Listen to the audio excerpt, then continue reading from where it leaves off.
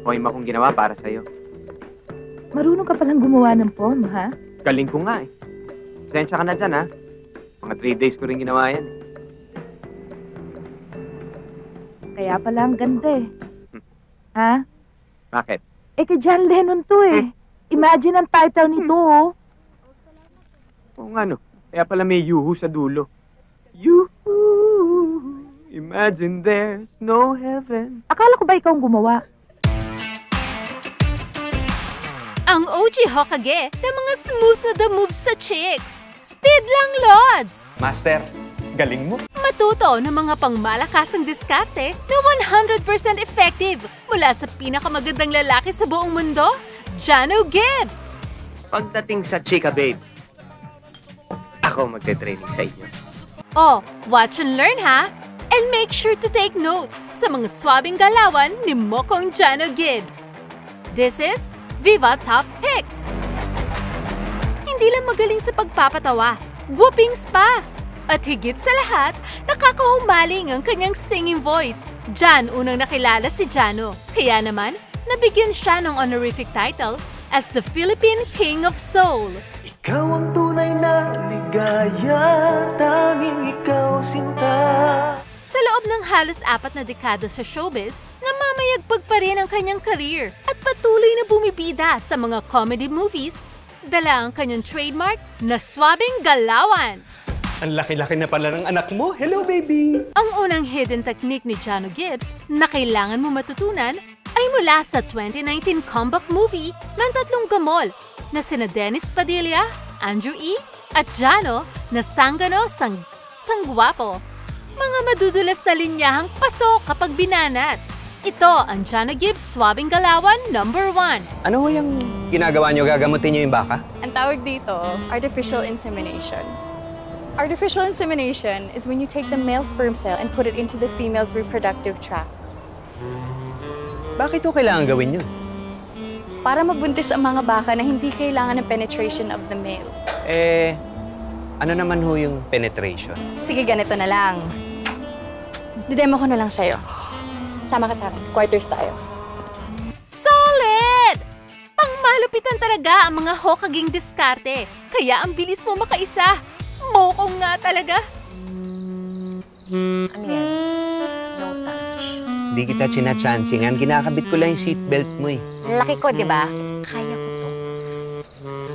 Nagwo-work ang mga the moves ni Jano dahil sinasamahan niya ang mga to ng nakakakilig na linyahan. Linyahan na hindi laging ikaw ang aatake, ha? Alam mo, minsan ako nagmahal. Sinamba ko siya. Pero iniwan lang niya ako. Kawawa ka naman pala. Gusto mo tulungan kita? Iha, mapapagod ka lang. Marami nang sumubok. Pero, why pe? Nagtandem ang dalawang komedyanteng singer na si Blackjack at Jano Gibbs noong 2001 sa pelikulang Wait a Minute, Kapeng Mainit. Ang diskarte dito ni Jano, kakaiba. Hindi lang basta tuka ng tuka. Minsan, kailangan mo rin lagyan ng konting pakipot yan. This is Jano Gibbs Swabing Galawan number 2. Pwede mo ba ako samahan bukas? Well, may business meeting sana ako sa Yugoslavia. Pero ika-cancel ko. Sa Ilabia. Talaga? Mm-mm.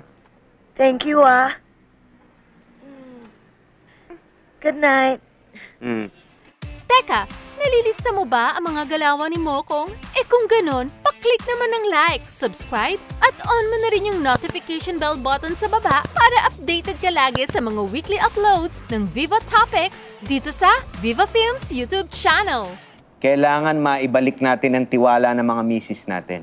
Dapat. Agree. Tama. Para madali natin silang maloko uli. Kaya nga sinabing swabing galawan. Of course, speed lang yan. Flawless at hindi ka sasabit. Paalala lang boys, ang susunod na the moves ni Jano ay para lang sa mga single at walang sabit. Justin, ano nga pala yung offer mo? Eh, gusto ko sanang gawing model si Natasha kung papayag siya. Hindi ko nga pinagsusuot ng sexy to eh. Wala akong problema kahit wala siyang isuot. Na, Ano? ka- kahit wala siya isuot na sexy, okay lang. Kaya kung ikaw ay isang takusa or short for takot sa asawa, bawal na sa itong next technique sa ating listahan. Mag-reminisce ka na lang. At sa mga ready to mingle naman, take note mo na tong Jana Gibbs Swabing Galawan number 3. Kunyari, in love ka sa camera ko. Eh kaso wala akong love life ngayon eh. Di bale, tutulungan kita. Pumikit ka. Hoy, Justin! Anong ginagawa mo? Hi!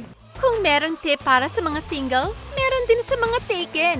Hindi kayo totally outcasted sa listahang to. Tandaan niyo pa ba ang box office hit movie ni Regine Velasquez at Jonna Gibbs noong 1998 titled Honey? Nasa langit na ba ako? This movie ay puno ng mga punchlines para kay Mrs. Wow! Eto siguro ang master's bedroom. Diyan ka nagkakamali. Bakit? Ito ang factory. Factory? Factory ng ano? Ng bata. Na-crack na talaga ni Jana Gibbs kung paano pagkombohin ang linyahang pamatay at smooth na the moves sa kanyang mga dinidiskartehan. Isa sa pinaka-effective na technique using that combination ay ang galawang romantic. Para tong Jana Gibbs Swabing Galawan number 4. Bakit mo ba talaga ako dinala dito?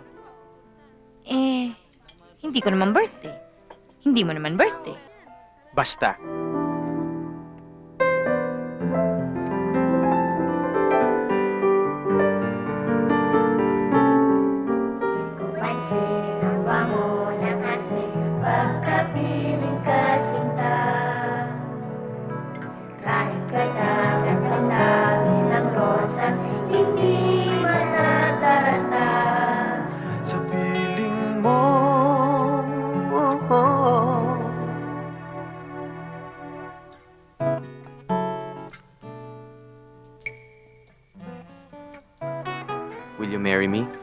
Akala nyo kapag swabing galawan ay puro kalokohan lang no? May mga wholesome na banatan din siya na naging remarkable at timeless pa nga. Pag lumingon to sa akin, ibig sabihin may gusto rin. Before we proceed sa ating last pick, here are some of the special mention para sa mga smooth na galawan ni Jano Gibbs. Hi. Hi. Saan ka pupunta? Ah, hinahanap kita eh. Kanina pa ako dito, nakita ko nga yung mga gimmick mo, no? Doku? Ikaw naman. Wala yung babes. Babes, sandali, anong pangalan ko? Ah, Teka.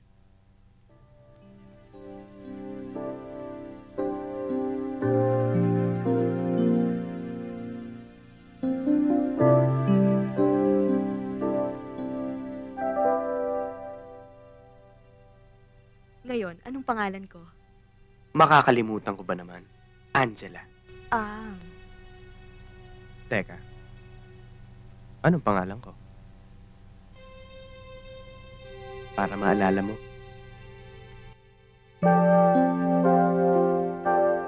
Mukong, nagugutom na ako.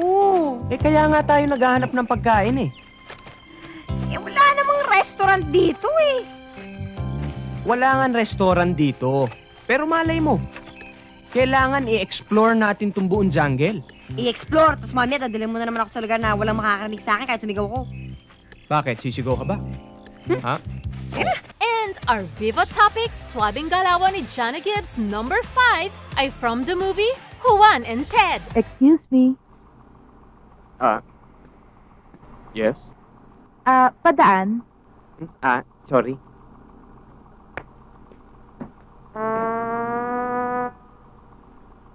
Sumayat! Swabe! Ibang-iba talaga ang karakas ni Jano Gibbs. Na-immortalize na nga ni Jano ang kanyang pangalan sa music at movie industry.